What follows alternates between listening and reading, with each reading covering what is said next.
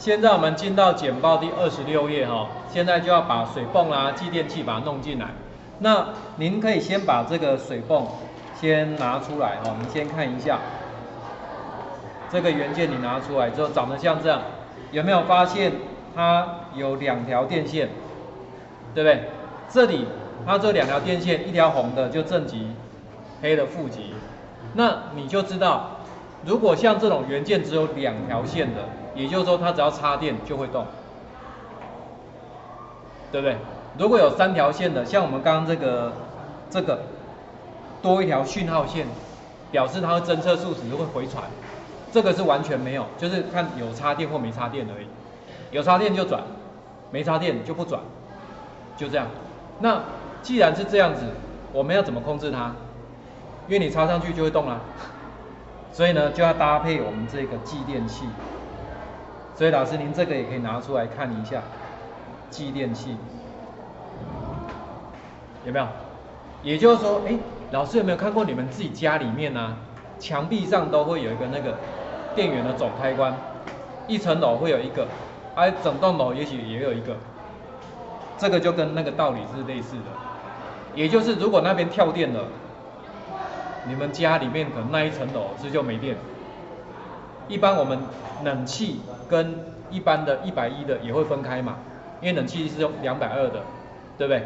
所以要分开，所以你可能是一般的跳电，但是冷气的不见有跳电。那里面呢，它就是会有一个那个这个东西哈，您看一下我们简报在这里，继电器在后面这边，在这边，好，它就是会有一个这个开关，它的原理是像这样，有一个电磁铁。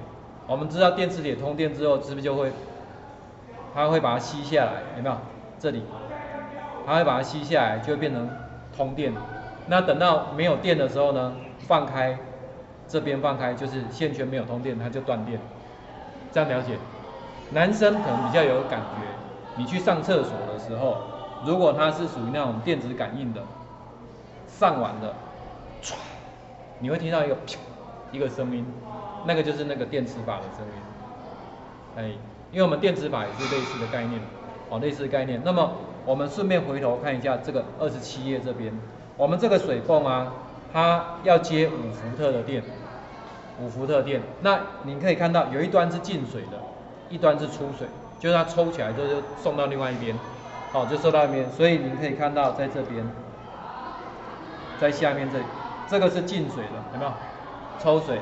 然后呢，这个水会出来，所以待会呢，老师您那个有一根这个水管有没有？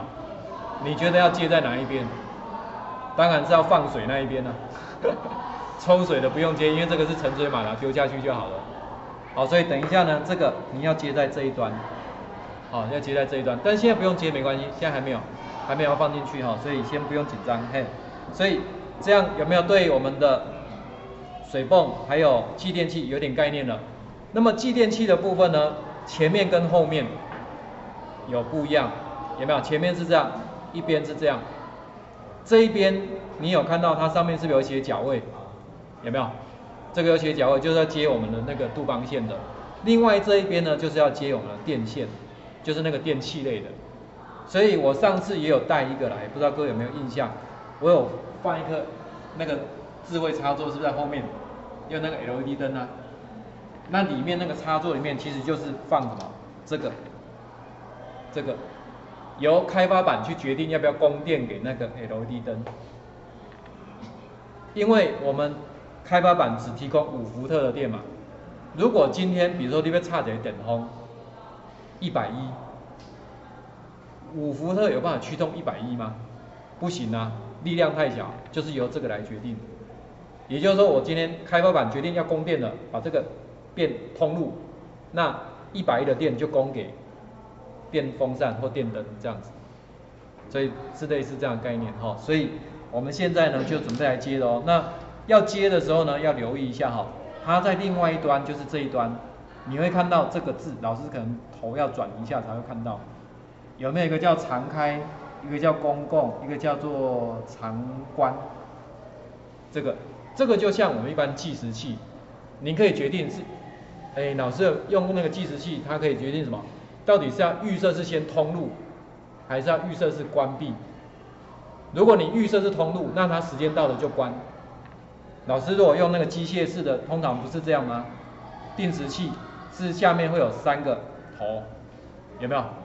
这个是开，然后这边是不是就关？对不对？就看你的插头是插在开还是关，时间到了就颠倒嘛。了解那概念？好，所以像这样子，那我们就来看一下怎么动工喽。第一个，先把您的 LED 灯移除，LED 灯移除就好，线留着哦。你不要习惯太好，顺便线收起来。你先把一样先断电，好，先断电，请你先把 LED 灯移除。好，这个我用另外一段影片来录哈。